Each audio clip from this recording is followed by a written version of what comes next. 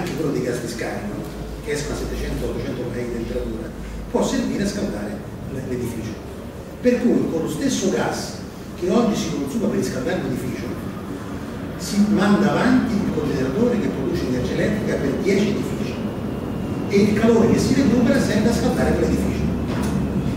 Si raddoppia il rendimento delle Le automobili sono un settore saldo, consumano energia, i cogeneratori un mercato vergine e dimezzano i consumi di energia.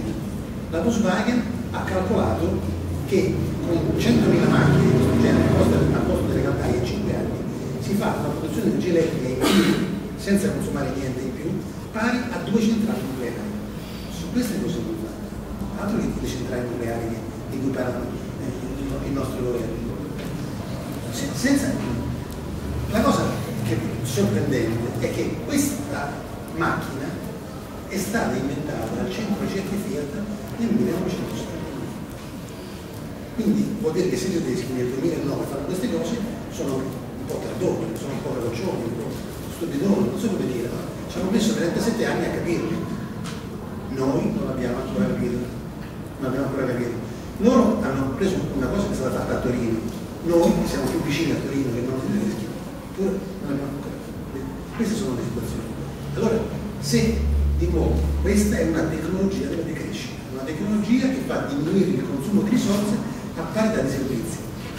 Questa è la strada, cioè l'unica maniera per uscire dalla crisi che stiamo affrontando, sia nei suoi aspetti occupazionali, sia nei suoi aspetti energetici, sono le tecnologie della decrescita. Adesso le altre cose le faccio un po' più veloci, però qui è importante che ci consente anche di affrontare la, la politica attuale. Il secondo aspetto, abbiamo detto, sono gli stili di vita. Negli stili di vita hanno scoperto una serie di cose che governavano i rapporti tra le persone fino a qualche decennio fa, diciamo fino agli anni 50.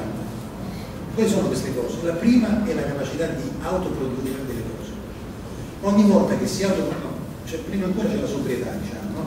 la sobrietà come elemento di fondo. In una società fondata sulla crescita del PIL, se aumenta la produzione deve aumentare la domanda.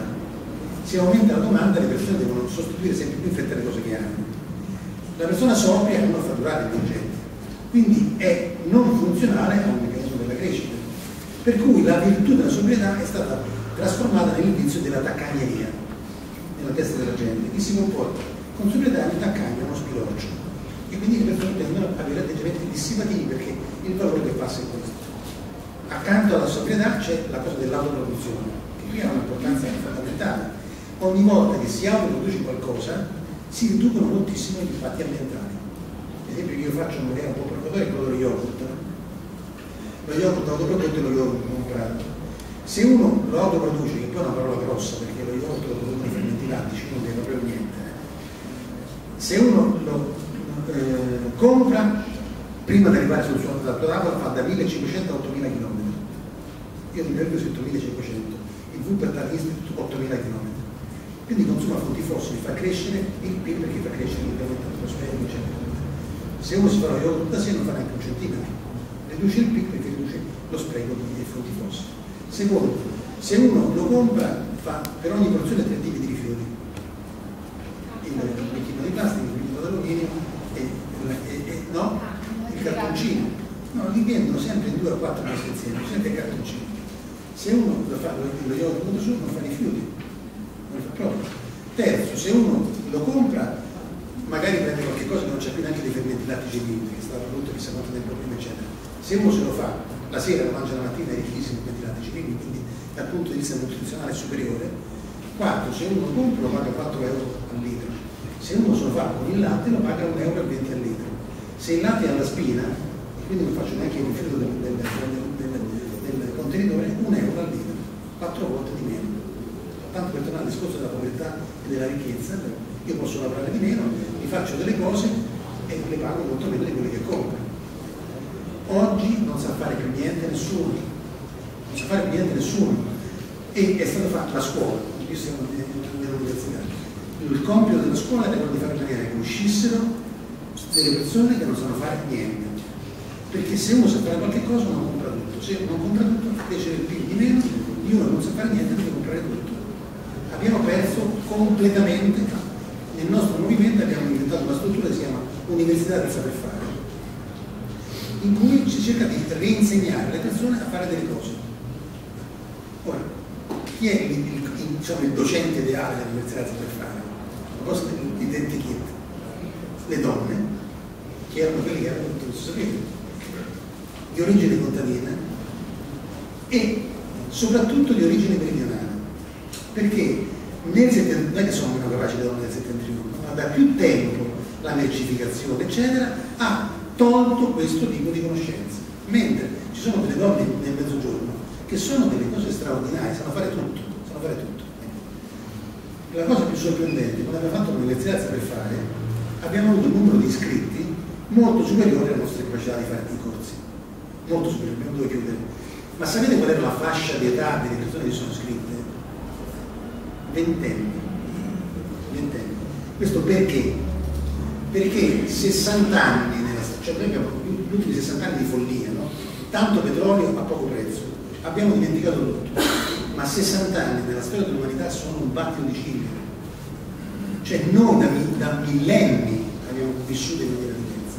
E quindi quello che non saper fare è una mutilazione, che le persone lo sentono il desiderio di recuperare queste competenze, queste capacità. Terzo elemento degli stili di vita, come ho detto, sobrietà, autoproduzione, gli scambi non mercantili. Abbiamo dimenticato che noi possiamo scambiarci del tempo, delle competenze professionali senza denaro. Senza denaro. Alcuni studiosi francesi della scuola del Moss, e il primo di questi Marcel Moss, che era un antropologo, hanno visto che in tutti i luoghi del mondo, in tutte le epoche storiche, i gruppi umani si sono scambiati del tempo, non delle cose, sulla base dei tre principi che erano scritti da nessuna parte ma che si ritrovavano identici dappertutto. Primo, la prima regola era l'obbligo di donare, la seconda regola è l'obbligo di ricevere, la terza regola è l'obbligo di restituire più di quello che si ha dato. Per cui se io ti dono il mio tempo, tu lo ricevi, mi restituisci più di quello che ti ho dato, e mia volta devo restituirti più di quello che ho dato a te. Quindi gli scambi non mercantili creano legami sociali. Gli scambi mercantili distruggono i legami sociali. Gli scambi mercantili fanno crescere il PIL, gli scambi non mercantili non fanno crescere il PIL. E diciamo ai ministri delle finanze non è che mi piace tanto, perché sugli scambi mercantili ci mettono l'IVA, ma sul dopo non possono mettere l'IVA. Va bene? Quindi è questa portata culturale molto ampia. Si potrebbe dire, io ho usato la parola comunità. La parola comunità è composta da due parole latine. La preposizione cum, che indica l'unione, e la parola mus, che significa dono. Le comunità sono gruppi umani in cui i legami tra le persone sono basati anche sul dono e sulla reciprocità, sul dono e sul controdono. Pensate alle nostre campagne fino agli anni 50 e 60. Pensate adesso invece che tutte stanno mercificando, perché non c'è più neanche dei gruppi di persone che vogliono donarsi del tempo gratuitamente, ma si chiamano banca, che è il massimo della conciliazione, cioè le banche del tempo, sono una contrazione in termini. Non abbiamo più neanche le parole per esprimere i concetti, sono state sradicate nella nostra, nella nostra testa. Terzo filone che ho detto, tecnologie, stili di vita, il terzo filone è la politica, che qui diventano dolori, perché tutti i partiti politici e tutte le correnti di pensiero nell'Occidente sono per la crescita. Destra e sinistra sono due varianti dell'ideologia della crescita. Si scontrano sulla distribuzione, sui criteri di distribuzione del reddito monetario prodotto, ma non mettono nessuno in discussione che debba crescere questo reddito. No? La destra dice che le parti le deve fare il mercato, la sinistra dice che se le parti le fa il mercato, i più forti prendono le fette più grandi, i più deboli restano le fette più piccole, deve intervenire lo Stato per fare le parti più giuste. Ma nessuno mette in discussione che l'economia deve crescere. Lo dicono tutti, leggete sui giornali, il Papa, il Papa, il Papa teologo. L'enciclica ultima, Caritas in Veritate, al punto 14, ha questa frase. L'uomo, l'essere umano, è costitutivamente fatto per il di più costituzionalmente fatto per il di più. Io che non sono teologo avrei scritto l'essere umano è costituzionalmente fatto per il meglio, non per il di più. E molte volte il meglio corrisponde col di meno, non col di più. Abbiamo fatto l'esempio delle case che sprecano energia, se le ristrutturo che consumano di meno, è il meglio che corrisponde al meno.